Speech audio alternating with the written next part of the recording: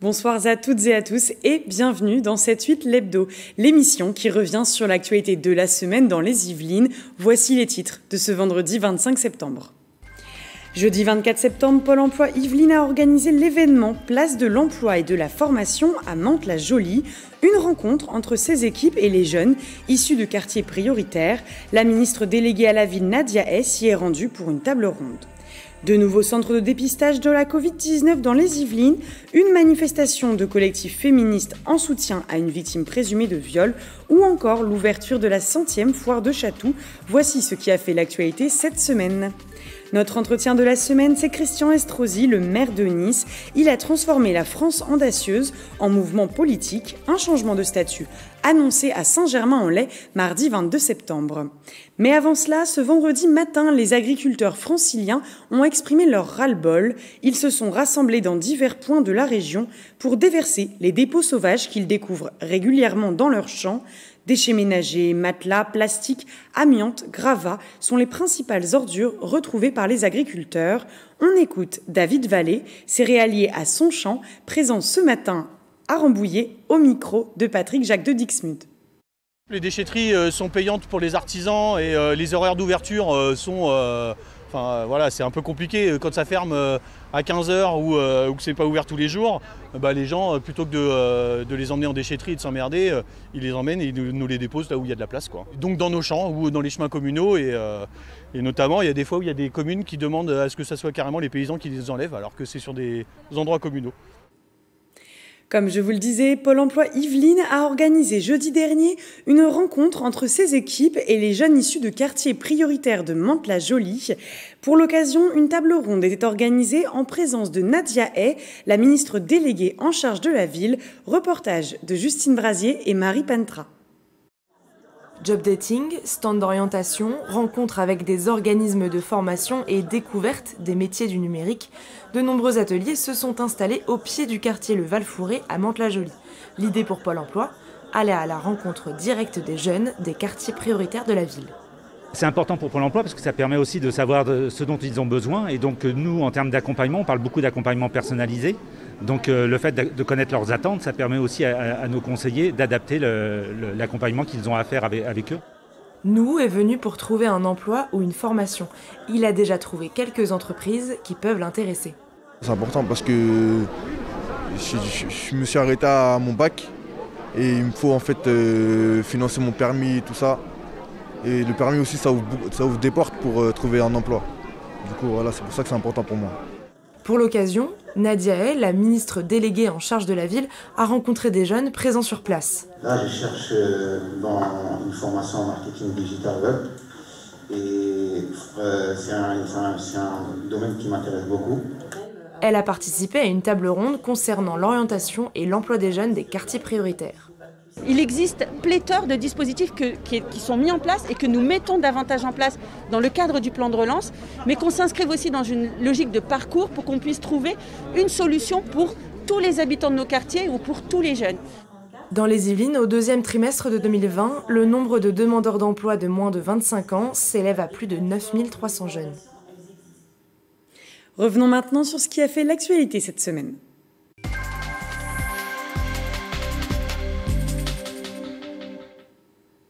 Mardi, nous vous parlions des files d'attente qui s'allongent jusqu'à 10 jours pour connaître les résultats des tests Covid-19, parfois compliqués à réaliser. Pour faciliter leur accès, l'Agence régionale de santé Île-de-France installe 20 nouveaux centres de dépistage à travers la région. Objectif, atteindre les 10 000 tests journaliers. Deux centres se sont d'ailleurs installés à Mantes-la-Jolie et à Trappes. Mélanie Poquet et Célia Gatsongo se sont rendus dans le second. Quelques minutes d'attente avant d'être testé. Depuis lundi 21 septembre, Trapp accueille un centre de dépistage et de diagnostic Covid. D'ici trois semaines, le laboratoire espère réaliser 500 tests quotidiens. L'espoir qu'on a tous, et c'est à la volonté de l'ARS, qui est vraiment de faciliter l'accès au prélèvement dans des délais courts pour les personnes prioritaires. Euh, les personnes prioritaires, c'est vraiment celles qui seraient susceptibles de propager euh, l'épidémie parce qu'elles euh, parce qu'elles sont positives et parce qu'elles sont en contact avec des gens. Cinq opérateurs de saisie et trois infirmières permettent un rendu de résultats sous 24 heures. Le centre est ouvert 6 jours sur 7. Il est accessible sur prescription médicale ou pour les personnes contactées par l'ARS ou la sécurité sociale. On a détecté hier qu'il y a des signes de Covid, mais en fait c'est une rhinopharyngite comme tous les ans. Donc par précaution, comme il est euh, bah, asthmatique, donc on, préfère faire le test du Covid en fait. Je fais des permanences et on a les résultats assez rapidement, donc euh, moi ça m'intéresse pour retourner en cours le plus vite possible. J'ai des symptômes, j'ai eu de la fièvre. Voilà, donc du coup, euh, juste par mesure de précaution, je suis venu faire le test. Un deuxième centre est installé à Mantes-la-Jolie. D'ici 15 jours, ce sont 20 sites qui testeront sur toute la région francilienne. Pour la semaine du 7 au 13 septembre, un peu plus de 6% des personnes testées ont été déclarées positives. Le département est classé en zone active de circulation du virus. Justement, comme le disait Mélanie, euh, les Yvelines sont d'ailleurs toujours en zone de circulation active du virus. Deux décès et 12 hospitalisations ont été comptabilisés jeudi 24 septembre dans les hôpitaux du département.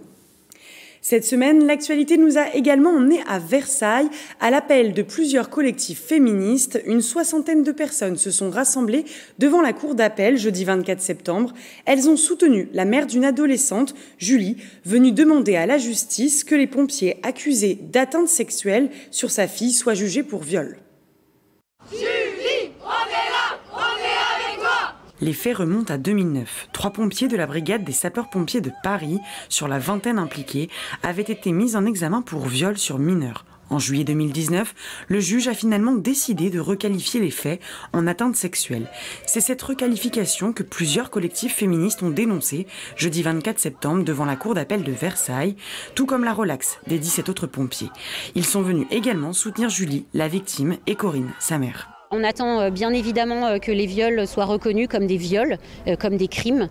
C'est le combat de Julie, c'est de faire reconnaître ce qu'elle a subi, qui est un préjudice énorme. Aujourd'hui, elle est extrêmement fragile, elle était déjà avant et ces pompiers le savaient.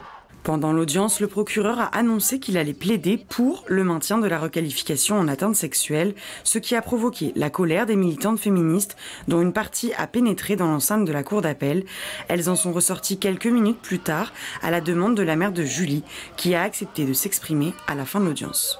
On est épuisé parce qu'on est resté euh, dehors. C'était un peu frustrant, mais j'ai confiance euh, dans nos avocats, dans ce qu'ils nous ont dit. Euh, j'ai un espoir parce que euh, la, les, la, juge est nouvelle sur, euh, sur Versailles.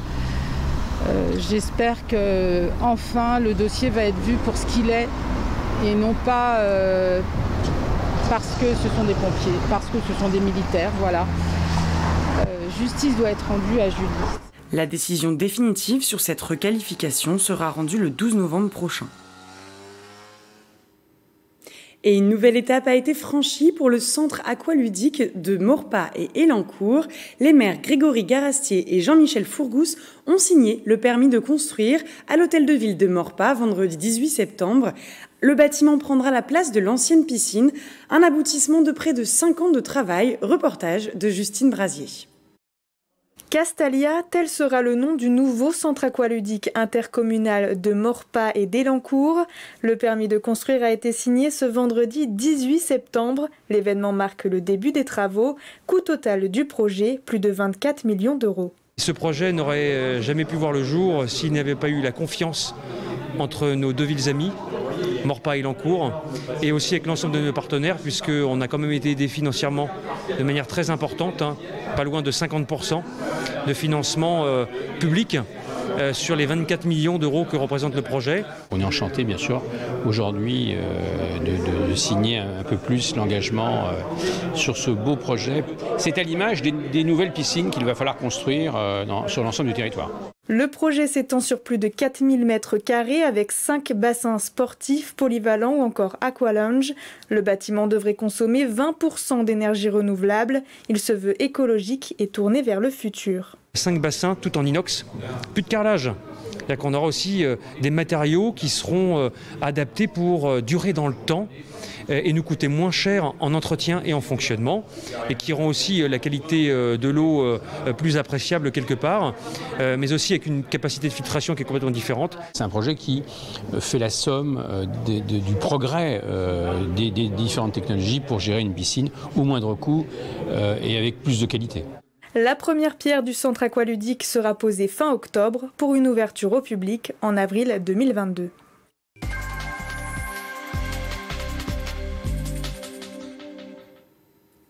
Notre entretien de la semaine, c'est Christian Estrosi, le maire Les Républicains de Nice. Il a transformé la France audacieuse en mouvement politique mardi 22 septembre à Saint-Germain-en-Laye. Créé en 2017, ce mouvement regroupe des élus locaux de la droite modérée et du centre. Objectif peser dans le débat politique sur des sujets comme la cohésion sociale, la sécurité ou encore la transition écologique. Patrice Carmouze est allé à sa rencontre. Christian Estrosi, le, mouvement euh, La France audacieuse a été lancé en 2017. C'était après un tremblement de terre politique, hein, euh, l'élection d'Emmanuel Macron. Quel est le, tremblement de terre euh, social ou, sanitaire qui vous conduit aujourd'hui à le transformer en mouvement politique?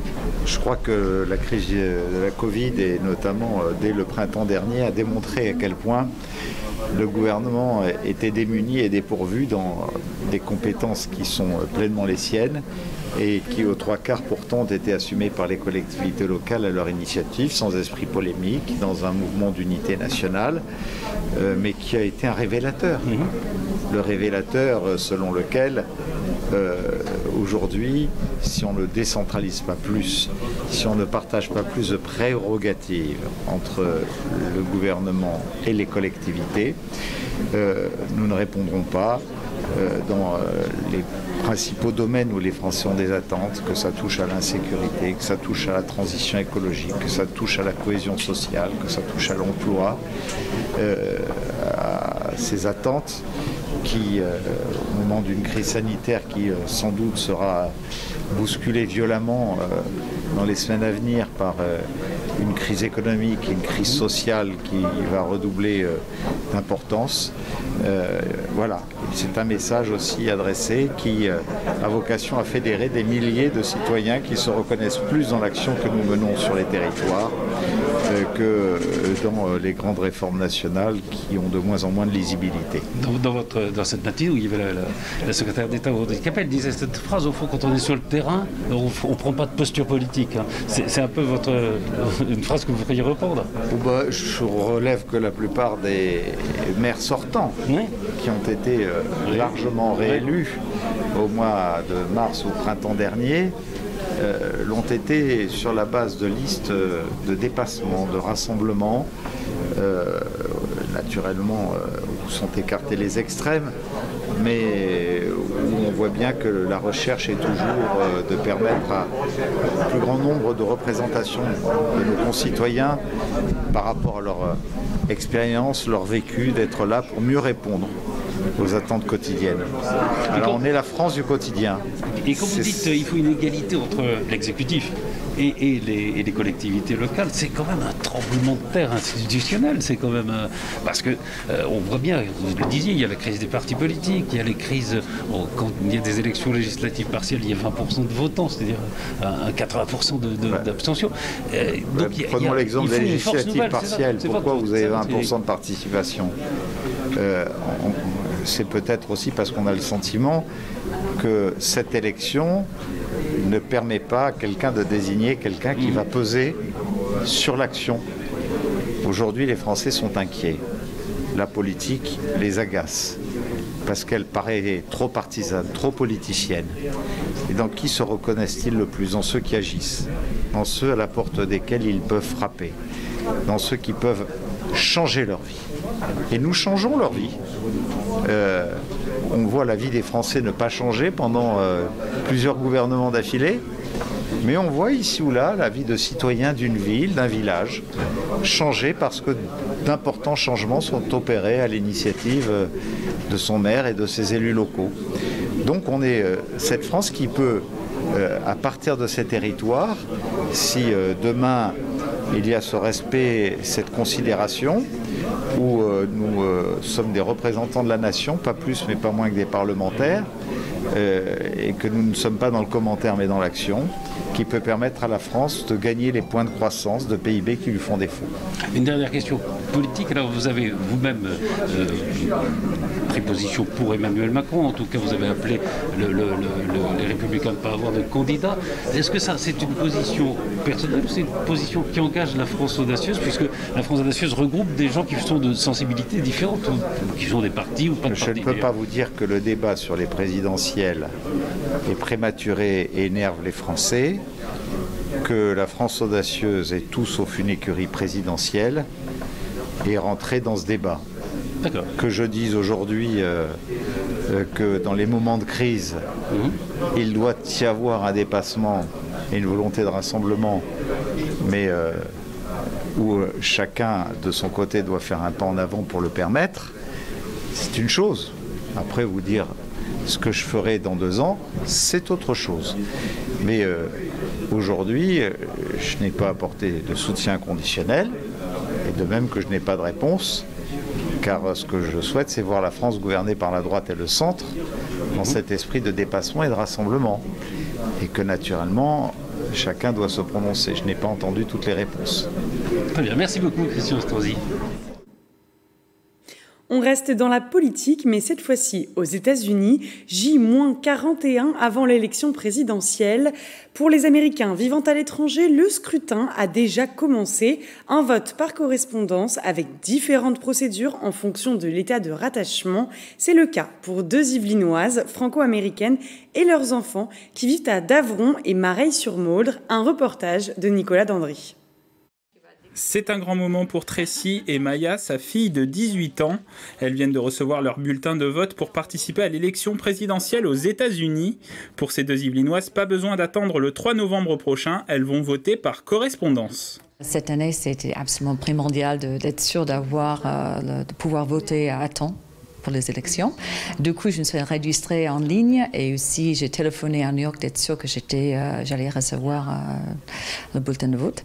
Pour New York, le bulletin est envoyé par la poste, par courrier, par email, par fax ou sur un site internet. Chacun des 50 États a son propre système de vote par correspondance. Amy et son fils Lucas votent en Floride.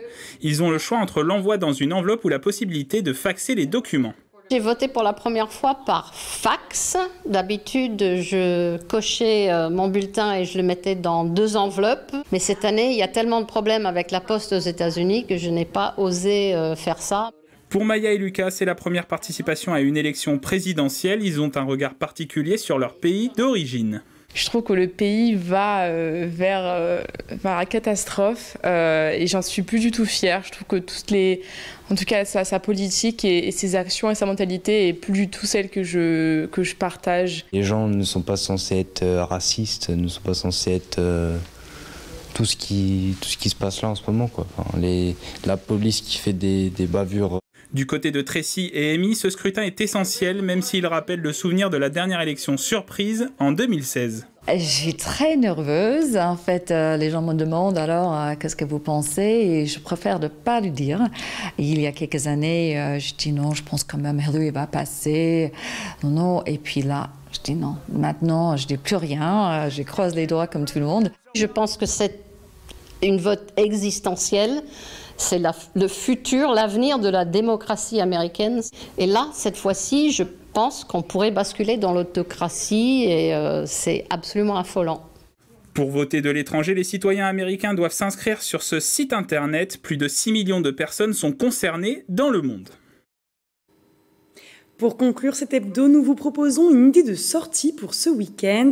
Si vous aimez chiner ou trouver des bibelots insolites, la fameuse foire de Chatou a ouvert ses portes ce vendredi 25 septembre et ce jusqu'au dimanche 4 octobre. Rappelons que la centième édition, initialement prévue au printemps dernier, a dû être annulée à cause de la crise sanitaire. La foire de Chatou est la plus grande foire de France. Elle réunit pendant 10 jours plus de 400 antiquaires et brocanteurs, toujours ravis d'être là. Il y a toujours euh, une bonne ambiance et c'est une bonne foire euh, avec plein de stands et de marchandises différentes. Voilà, il y en a un peu pour, euh, pour tous les goûts. Cette année, la foire sera un peu particulière en raison de la situation sanitaire. Pas plus de 1000 personnes en même temps sur le site, gel hydroalcoolique sur tous les stands et surtout masque obligatoire. C'est pas hyper pratique de, travailler euh, en termes de relations commerciales avec un masque. Effectivement, c'est plus compliqué pour créer le, contact, le dialogue, etc. Mais bon, on n'a pas le choix, donc on le fait. Malgré ces mesures, les organisateurs espèrent attirer 30 000 personnes. La foire de Chatou se distingue par la variété d'objets proposés à la vente. Antiquaires et brocanteurs se côtoient. C'est vraiment euh, une foire de passionnés. Nous sommes antiquaires passionnés qui transmettons à d'autres passionnés, qui vont venir voilà, pendant ces 10 jours d'ouverture, euh, qui vont se faire un plaisir de, de venir chiner, déambuler dans les allées. Et pour les prix, il y a de tout. Au niveau budget, ah, au niveau budget, c'est ce qui est fantastique à Château, c'est qu'on peut acheter un arrosoir à 5 euros, euh, en zinc, et acheter des pièces à des milliers d'euros. Cette année, le prix Saint-Roch, le patron des antiquaires, sera remis à Yves Lecoq. C'est déjà la fin de votre 7-8 l'hebdo. On se retrouve la semaine prochaine pour un nouveau retour sur l'actualité de la semaine. Avant ça, l'information revient lundi à 18h dans le 7-8 journal présenté par Grégory Canalé. Vous pourrez revoir également cette émission et toutes les autres en replay sur notre site internet tv78.com ou sur notre application mobile TV78. Jusque-là, je vous souhaite un excellent week-end, une très bonne soirée et à la semaine prochaine.